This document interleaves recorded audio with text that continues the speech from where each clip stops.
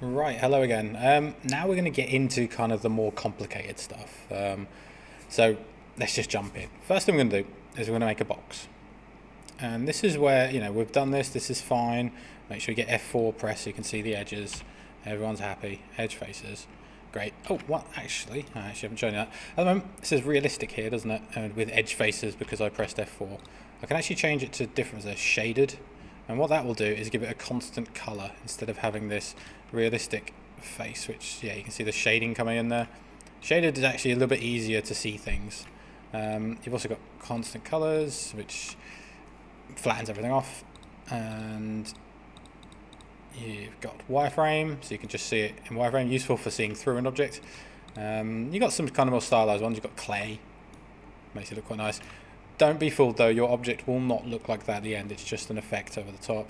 You've got some crazy stylized stuff, so you can make a graphic look. These are good, again, good for portfolios, good for images, um, but we'll just do shaded for now. That's fine. Um, so yeah, mess about with that.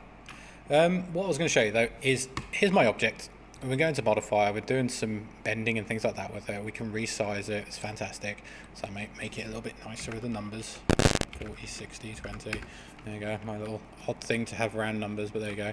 Um, and yes, I can cut it, I can have lengths and widths and all that kind of fun stuff, but what I want to show you is that one of the most more important things is, is that there's a modifier known as edit poly. And this is the most powerful part of the whole program. Um, what you've got here, you might notice everything's changed. That's why I like to drag this out to have the two so you can see everything here. Um, we've got these things here. There's selection. So here it says the word vertex. And a vertex, if I click that, you should be able to see, is a point where two or more lines meet. Okay, and they intersect, they make a vertex. And these can be moved. So I can take this point and move it over here. And I'm changing my shape. I can bring that back. Control Z undo. I can drag around that, drag around that. So I've got both selected, move it in. Okay, Hopefully you can see how powerful that is. Um, very useful for making objects. Uh, you can control click them and bring that in as well there. So that's kind of, you know, my box is taking shape. Um, what you want to be careful of is if you drag around, be careful that you don't select more than what you need. I only wanted those top two and I've, I've selected the bottom one here as well. So if I hold Alt and then drag around, it actually goes away. Okay. So control, drag around, or just drag around, and alt to get rid of. Okay, use very important to do because what you can do, especially if you're looking from like an angle like this, if drag around them, I've actually selected those as well. Okay, um, you can option here, as it says here, it says ignore back facing. So I click that and now drag around, it would not have selected the back. Okay, so drag around there. Those two are not selected okay but ignore back facing on and off. Up to you. Always even with that on I tend to then go have a look because what can generally happen is you might be doing loads of modeling you know you get really far really far and then you turn the object around and you realize yep done it here. I've been pulling and pushing away all these different parts on the back and the whole thing's ruined. So do check everything okay? This is one of those things it's like if you ever used photoshop before and you're tracing something and then you realize you've just drawn over the original you've just wasted an hour's work so double check that. Um, these are the verts cool. Next one edge. And the edges are these things here the lines okay the big lines here. And they again can be moved dragged around so you make it much larger you know edits to the object you can pull them up bring it in you know make different looking shapes. Um, again, rotate. They can be rotated. So if you want to do that as well, they can rotate different axes. And again, scale will do its thing as well. Bring that in. Going to pinch that into a point. Alright. So edges, really useful. Uh, you've also got borders, which we'll talk about in a second. You can't do anything with it at the moment. Uh, you've also got polygons, and polygons are the faces. Alright and these are the big changes so I might want to grab that pull that out make my thing longer. Uh, bring this over here bring this over here. Yeah big changes going on with that. And then the last one is element and that's the whole thing. So I click that I click the whole object. And that's really useful if you just want to select something quickly and you're in this mode just like just come here bring it over here just grab the next one go on. Um, yes, ah, that is actually a thing. Common thing that people tend to do. Say you had two objects and you're in modifier here and you had this thing here, you're going for it, and you try and select that one, you're like, I can't, what's, what's going on, I can't, I can't select it, oh no, I've broken it, what, what do I do? So what do you need to do is go back to the create tab and select your object. That's it, because you were in the modifier of that object, it kind of locks itself down to that. Alright, so when you've got that selected, I can't do anything with that. So just be wary, if you are thinking, oh god, I can't select anything, take a step back, go back to create, click delete, whatever. Right, cool. So my box looks all right. It's not that detailed, but let's have a look. Let's go back to the modifier. Uh, what I'm going to do is, let's try, let's go with edges. Now I'm going to select this edge here, this nice little bit down here. And I'm going to use, so we see here, actually instead of using some of the modifiers, these have their own sort of edit edges. Um, let's start with edge, I like edge. Right, select that one, and I'm going to do something called chamfering. Okay. Um, what I would always recommend, 100% of the time, you see this little box here, it says settings next to the word chamfer, uh, and with all of them. Click the settings, because that will bring up this little gizmo, and you can start to edit here. And I can cut this object a little bit, and I can bring that in. So what I'm literally doing is adding more edges. You probably see something appearing here. There's a nice curve. I'm chamfering it in and there you go. And I can change how much how far I want that to go. That looks quite nice. I can bring it down a bit. Uh, cut it up. Again you can go crazy with cutting but please don't just eyeball it and go yeah that's probably fine. I don't want to put lots of detail in. Um, there's chamfer types. This is the old, old style.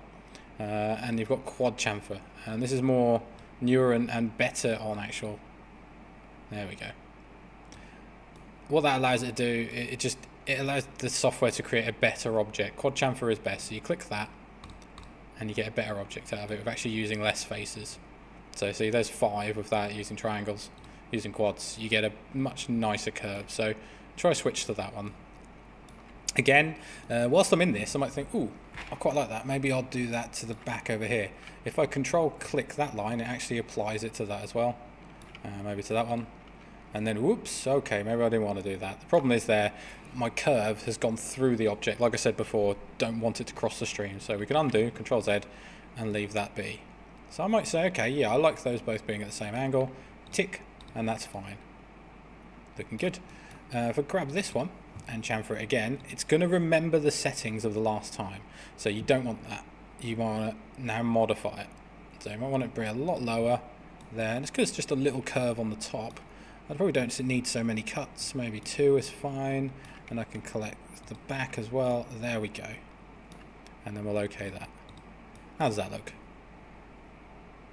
Looks like a nice shape. Remember this started off as a box. Looking a lot, much curvier and much nicer now. Um, what else can we do with this? Let's think of a useful one.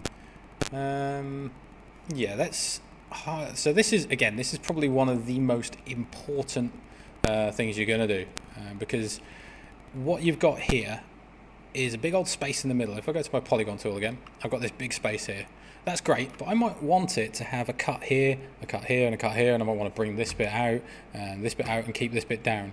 But the problem is, I don't have the faces. I haven't got information for me to drag. I can drag these bits, I can do what I want with them, but this, I, I, it's not cut up for me. So what do I do? I can select edge, and I'm going to select that one, and I'm going to control click that one. So I've got two parallel opposite lines. And I'm going to click the word connect, but remember the settings. And what happens is it's, it's now put a split line in because I've told it to do it once, twice, three times, however many you want, how many cuts you want. Don't go nuts. I'll probably say just two is fine. And you can see, I would, if I let go now, I'll have this in one, two, three pieces. I can also pinch it that way or that way so it doesn't have to be perfect, you know, like equal size everywhere. And I can also slide it along however much I want. I might do that and then say, okay, brilliant. So now what I can show you, when I go back to my selection, look at this. I've got three shapes there now. That's awesome. Because, okay, I'll show you now. Um, what I'll do, so next tool I'm going to use is Polygon. And Polygon, if I control click, say, these two faces, Uh, I'll do one there for that. Actually, I can do extruding, and extruding is really powerful because I'll click on this on the settings as always and bring it up. So that's pretty cool, isn't it? And if I think, okay, yeah, uh, if I control click whilst this gizmo is open, bump, I've got them both. That's quite cool. I like that. Uh, I might bring them down slightly because it looks a little silly. I'm not sure what I'm making, but hey, I'm just showing you objects. That's fine. I can also, yeah, that's actually quite a nice thing to show.